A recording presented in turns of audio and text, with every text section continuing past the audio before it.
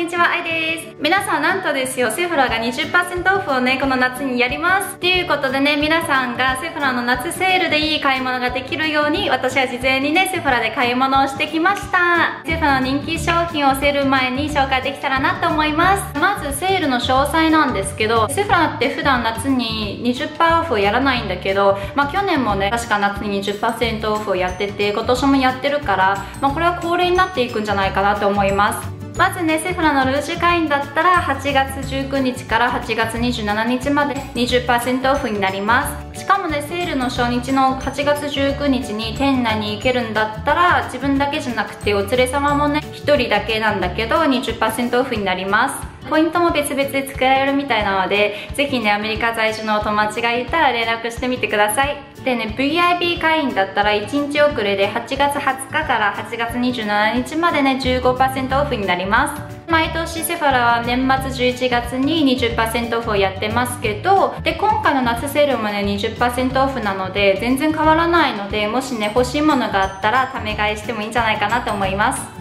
じゃあね今回私が買ってきたセフォラでね結構人気な商品を皆さんに紹介していきたいと思います。ではまずねこのナタシャ・ディノーナのパレットを皆さんと一緒に開封していきたいと思います。こんな感じのピンクです。中身はこんな感じのチークとハイライトのパレットになってます。これねチークが3つとハイライトが3つついてます。じゃあ皆さんにスワッチしていきます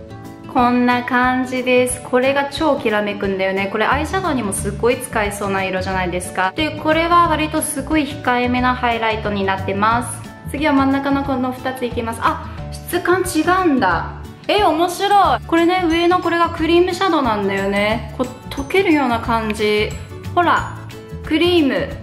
あめちゃくちゃ発色がいいわこのクリーム。こうやってぼかすといい感じのチーク色になるんだね。でこっちは割とねほんのりするピンクです。じゃあ次はこっちの2ついきます。すごい可愛いんだけどこっちはシャンパンっぽいハイライトカラーでこっちがシャンパンカラーがかかったチークですね。すっごいツヤ感がやばい。しかもね粉質がすごい細かくて塗りやすいんだよね。ではこんな感じで1個目です。もうね1個目だけでめっちゃ大満足なんだけど。じゃあ次はねリアーナのブランドの Fenty Beauty に行きます。これも結構人気商品なんだよね。見た目はこんな感じです。中身がこんな感じです粉質がすごい細かくてこっちがシャンパン系のハイライトになってるんだよね。海外ブランドっぽいハイライトになってるんだけどこっちは割と控えめで鼻筋には良さそうな感じです。はい次3つ目に行きます。アナスタシアのリップクリックスティック。アナスタシアって言ったら一番有名なのがアイブロウだと思うんだけどで今回のアイブロウ買わなかった理由としてはうちんちにアイブロウね山ほどあるんだよね日本から持ってきたやつ。こんな感じの見た目でお色がねこんな感じのローズカラーです。これちゃんと乾くのを待つとマットタイプになるんだよね。はい次 Urban Decay のすっごい人気なアイシャドウプライマーですね。これをつけてからアイシャドウをのせると全然よれないで有名っていうアイシャドウプライマーですね。見た目はこんな感じで私今回はねミニサイズを買ってきました。でこうやってねチップになってますね。これちょっとベージュ色っぽい感じで伸ばすと存在感がなくなるような感じですね。これね結構アイシャドウのありのままの色をキープしてくれる感じだそうです。じゃあ次皆さんこれですよ。私はもうこれが欲しかったんですよずっと。 Huda Beautyのヌードパレットです。これが1年半前に出したパレットで見た目がこんな感じで。開けるとね HUDA の目をしたこういうプラスチック紙が入ってます。これの下に今日の主役があります。もう超可愛くないですか？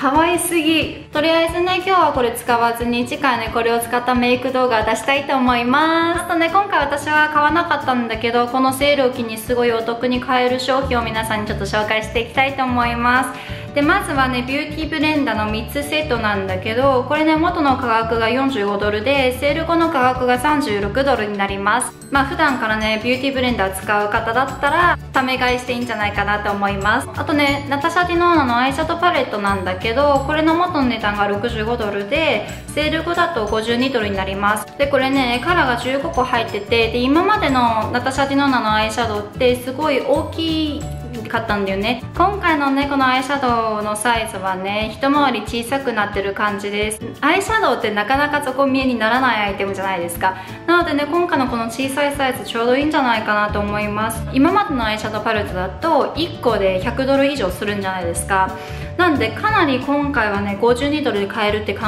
えると半額なんですよね。ただね今回のカラーなんだけど今までのカラーとあんまり変わらなくてちょっとなんだろうこう誠意を感感じないというか今までアイシャナタシャ・ティノーナのアイシャドウを持ってるっていう方からしてみればあなんか似た色ばっかりだなっていう感じになるかなと思います。はいじゃあ次。このアイシャドウプライマーなんだけどもともと値段も安くて16ドルなんだけどセール後だと12.8ドルになります。これね前からすごいヒット商品ででこのアイシャドウの特徴なんだけどこれをねこう仕込むことによって手持ちのアイシャドウの色が変わるっていうちょっとね遊び心のあるアイテムなんだよね。はいじゃあ次ランコムの有名な美容液なんだけどこれは2本セットで元の値段が189ドルのがセール後が151ドルになります。これね現品サイズの1個が入ってるのとあと小さいサイズ1個がついてくるんだけどもう現品サイズだけで180ドルくらいするんだよね。なんでかなりお得のセットになるんじゃないかなと思います。日本だったら絶対1万5000円ぐらいで買えないと思うんだよね。